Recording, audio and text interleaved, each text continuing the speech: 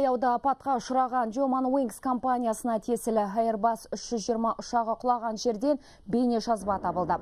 Онда ұшақ құлауға бірнеше секунд қалғандағы сәт жазылған. Мамандар бейне жазбада нақты не бары туралы әлі хабарлаған жоқ.